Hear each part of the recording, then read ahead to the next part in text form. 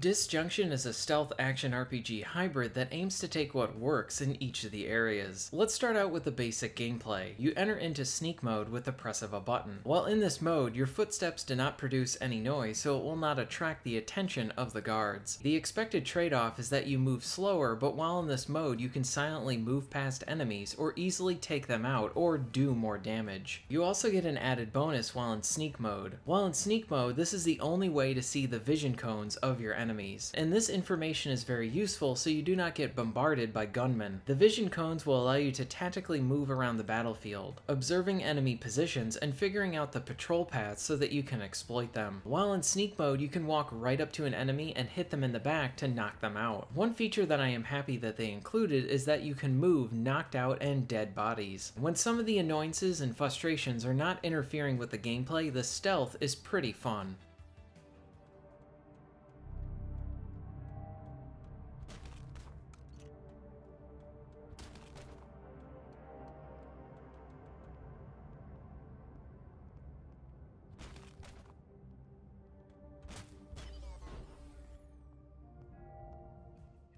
Stealth is not the only means to get through the levels. Each of the different characters have their own signature firearm. Gunplay can be used as a last resort. The shooting controls are kinda like a twin-stick shooter. While aiming, the screen will push in that direction, so that can help you out as you are sneaking around. The different firearms are very powerful and can take enemies out very fast. So the shooting is deadly, but the enemies can also take you out just as fast. The shooting does have some decent sound effects along with some impact.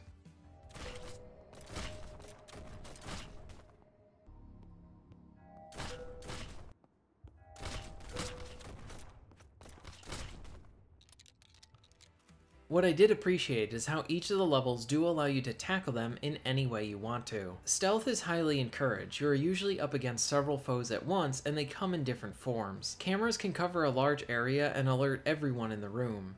Drones are very fast and can do a lot of damage along with the different robots. The human enemies range from different melee fighters, heavies, and then range fighters. The shotgun soldiers are the most deadly. When it comes to the stealth, the guards will regularly follow their patrols and this is where a lot of the rooms turn into mini puzzles to try and figure out how to maintain stealth and take them all out. If a body is found, the guards around him will be alerted to this and will now divert from their normal patrol. This makes it harder for you to maintain stealth, but there is an advantage to this this as well. You can use a dead body as a means to bait an enemy to potentially thin the herd. The levels do offer some variety in how you can approach the stealth. One level has objects moving around and you can use them to stay hidden and get the drop on enemies. While in each of the levels you will have objectives to complete along with upgrade kits to find. You will want to take the time to find those upgrade kits as they will help you out with your skills. Completing objectives is the only way to gain experience points. In between missions you can level up your character. The first set of upgrades involves involves your skills. Each of the different skills have two different upgrades that you can choose from from your upgrade kits. This can range from having a first aid ability that heals you quicker or heals you for a larger amount of health. Each skill has two different choices, and this allows for some player expression depending on how you want to tackle the levels with your upgrades. What is appreciated is how you can change these upgrades out at the beginning of each level. So this means that the game encourages you to play around with the different upgrades to find a set that fits your playstyle. After this, you have the talent screen screen. These are different passive upgrades that you can equip. These talents can improve your attack speed, reduce your detection, improve your health, improve how much energy you find, and much more. To unlock these different talents, you must use your experience points. They operate just like the skills, and you can change which ones you want equipped before each level. When it comes to the progression, it's more on the lighter side of things, but it does provide some decent choices on how you want to use each of the three characters.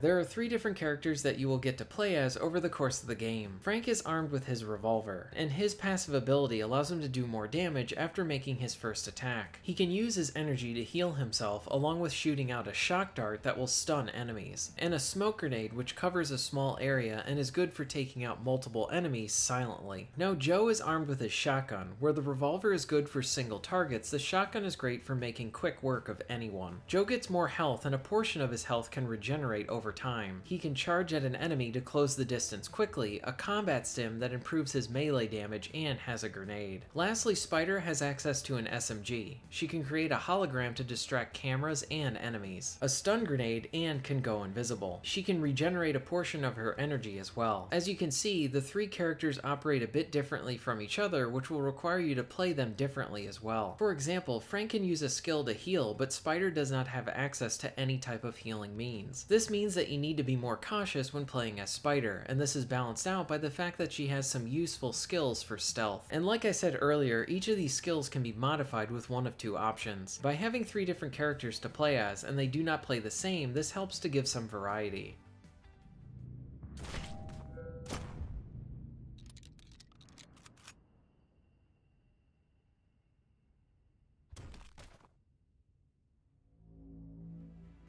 I generally found the stealth action to be pretty fun. I enjoyed how you could mix and match your approach with the different levels. The three different characters was a plus as well but I did run into a decent amount of flaws along the way. The level objectives are mostly the same, along with the secondary objective. The levels needed more variety from the standpoint maybe featuring levels where you are on a time limit or where you're being hunted by a group of foes. One of my biggest issues is with the inconsistent frame rate, especially in the second half. I was playing on the PS4 and it was really noticeable in one of Joe's levels where the game really slows down and where the gameplay requires you to think your movements out and then move swiftly, this can get really annoying when the game is hindering my movements. This isn't minor slowdown, but rather a large amount that can hurt the action. But not all levels are like this. There are other aspects about the game that feel very very cheap. The enemies have a laser focus aim when firing at you, especially for the shotgunners. They rarely miss and will take you out really quick even before you have a chance to react. The same goes for the robots that will hit you with electricity shots. They need better balancing because anytime you get caught with either of these guys in the room, you will probably end up back at a checkpoint. Along with this, there are situations where the game checkpoints can be spaced out a bit too much, causing frustration when you die in some of these cheap encounters. I also think it was a missed opportunity to not reward experience points for enemies that you knock out or kill. Since this is a stealth game, I think if they provided you with more XP for non-lethal takedowns over kills, that would promote the stealth gameplay more, and add some more progression to the game. I did have a good time playing this game, but when the flaws hit, it made me consider not to continue with it. This sort of creates a mixed bag experience that might frustrate some players. I do want to elaborate that it is rewarding to master understanding a set of patrols and then execute a set of stealth takedowns. That is really rewarding, but when the frame rate is actively working against you, that is where I take issue with it. And considering that this game isn't doing anything impressive during these dips, it feels like the game just needs more polish. When it comes to the story, I did not find myself getting invested in any of these characters. There are some neat choices to make some of the beats more interesting, but the narrative failed to pull me in. What was good was the soundtrack. The music is like a mix of relaxing beats mixed with a tone of sadness. It fits the cyberpunk setting very well. Here are a few tracks from the game.